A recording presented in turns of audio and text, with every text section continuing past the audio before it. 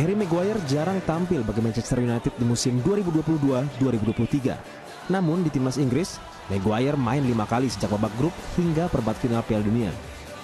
Back termahal di dunia ini tampil solid dan mengukir catatan tiga laga tanpa kebobolan. Christian Pulisic baru lima kali jadi starter dari 18 laga sejak Chelsea dibesut Graham Potter pada musim ini.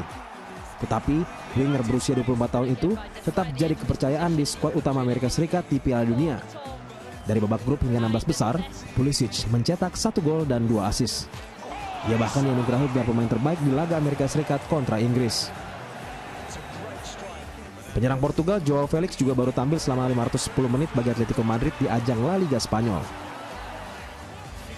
Tampil dalam empat laga bagi Portugal di Piala Dunia, Felix jadi andalan dengan raihan satu gol dan dua asis sejak babak grup hingga fase delapan besar. Terakhir ada Hakim Ziyech. Chelsea baru memainkan Ziyech selama 270 menit dalam dua penampilan sebagai starter dari 9 laga. Namun tidak demikian dengan di timnas Maroko. Wenger berusia 29 tahun ini jadi pemain kunci yang membawa Maroko melaju hingga semifinal. Ia mencetak satu gol dan satu asis untuk menjaga kans Maroko jadi negara Afrika pertama yang mengangkat trofi Piala Dunia.